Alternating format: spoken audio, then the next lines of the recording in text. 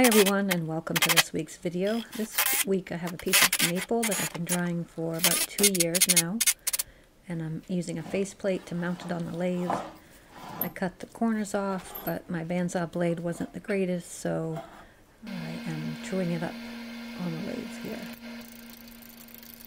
Just taking some light passes.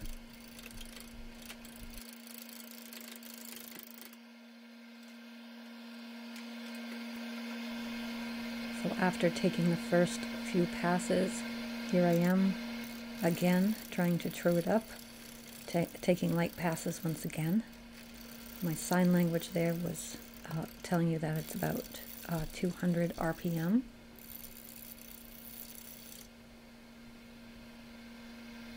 And there you saw I'm now at about 330 RPM.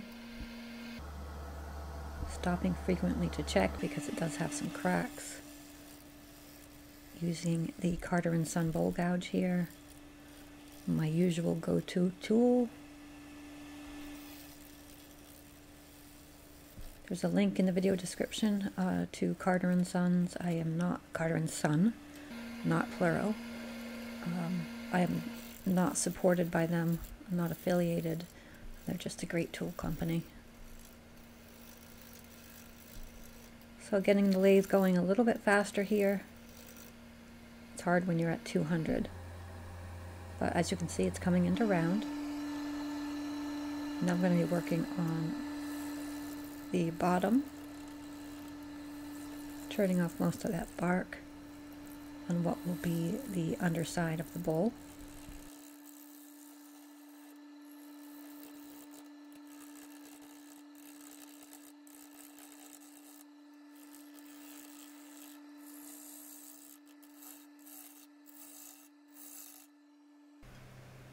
Once again, stopping frequently to check the progress, and make any adjustments needed, and back at it. Adjusting the tool rest. It's always important to turn the lathe off when you're adjusting the tool rest.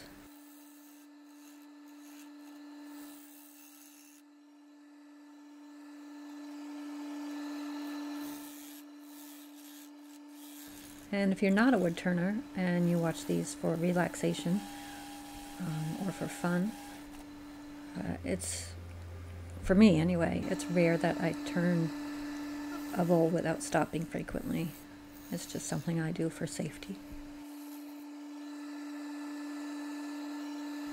And you have to stop to reposition anyway, so I like to turn the lathe off and get a good look at what's going on making a recess here and a foot.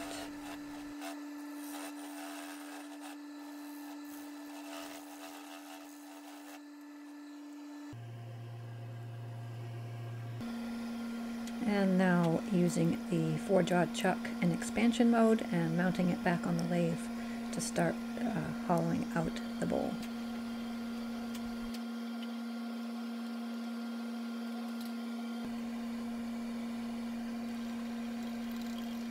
Seeing how trued up it is, how more, much more balance I have to uh, give it, and just taking light passes. I do know that there's a crack in it,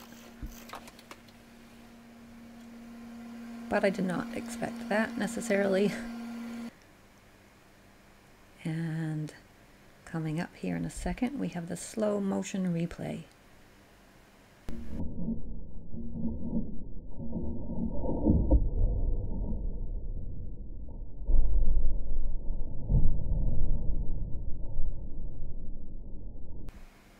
Now, when I posted a clip of this exploding on my Facebook page, there was tons and tons of commenters saying how unsafe I was and how idiotic I was and I had no place in turning, etc., etc.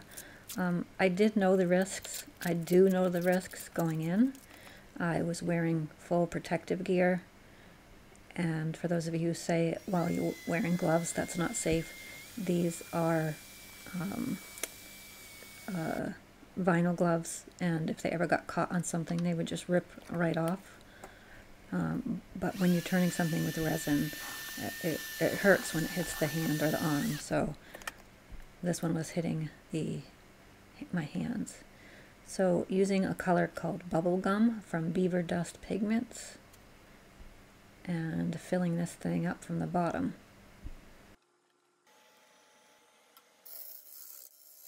And as you saw, it cracked completely in half. Use tuck tape to uh, get it back together, pour that resin in, and now we're back to turning. A little bit of a slow process here uh, because I'm trying to be as safe as possible. And when you're turning resin with wood, sometimes it can be a little bit tricky, but it all turns out okay in the end. Uh, to make matters a little bit worse, I had two screws that broke off uh, from the faceplate, so I had to stop.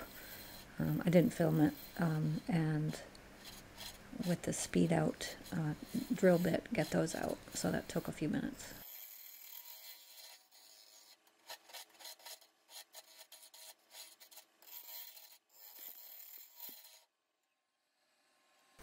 So it doesn't look very pretty so far, but it's going to get there, I promise.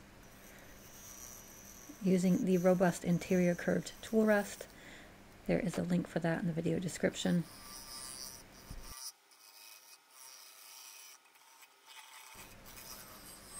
Finalizing the shape of the bowl here, as you can see those shavings coming off are uh, really fine shavings. Still a little bit of tuck tape on there that I'm also, uh, it's difficult to peel off so I'm just turning it off. But this top-down view gives you a good idea of how the shape um, comes to be. More really fine shavings here as you can see.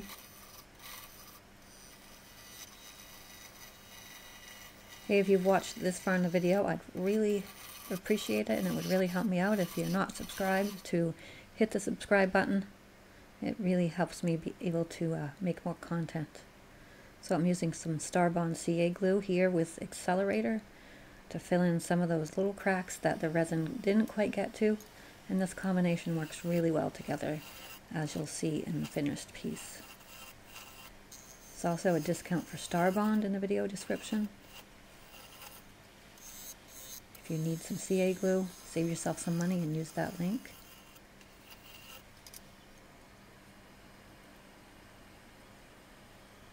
And everything is staying together really well. I didn't film the two hours of sanding, uh, but this is, I'm cleaning off the dust with denatured alcohol. When that dries, I'm coming back and using sanding sealer here, one coat of sanding sealer. And once that dried, I'm using a uh, quadruple zero steel wool to denib it and make sure it's nice and smooth before I start using the Ack's uh, abrasive paste, which you see here.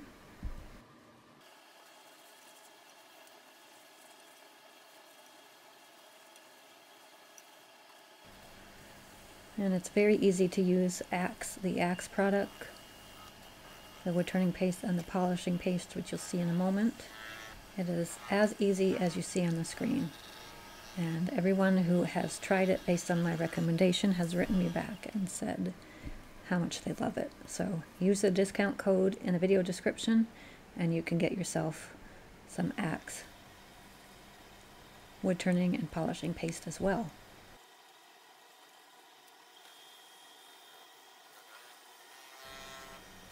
Be sure to check out my website, pfwoodturning.com, to buy this or other things that I make. The link's in the video description. using the branding iron here to put my logo on it. And I'll see you guys later. Hi everyone, thanks so much for watching this week's project video. Before I show you up close of the finished piece, I just want to say don't forget to hit subscribe. It really does help my channel and helps me keep making videos. Don't forget to smash the like button and hit that little notification bell so you get notified every time I upload a new video. So here is the finished piece.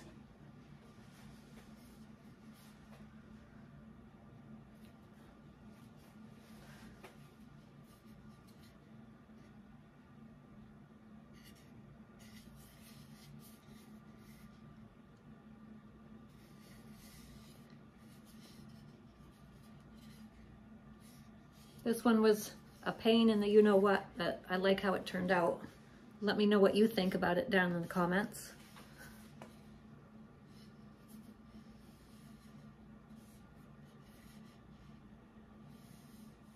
Don't go anywhere just yet because I'm gonna put some beauty shots up, some stills. But before I do that, I just wanted to say thank you to Total Boat, Starbond, and Ack's Wood Paste. You can get discount codes to all of those great vendors down in the video description. If you want to save yourself some money, go check those out. Uh, highly recommended. They're all great, great products. But until next week, guys, peace out. One more thing before I let you go. I do have a uh, website, pfwoodturning.com. I also have an Etsy page where you can go ahead and check out either of those sites if you want to purchase anything. I, I do make other things that I don't create videos about. I'm going to show you one of them now. It's a cutting board or charcuterie board.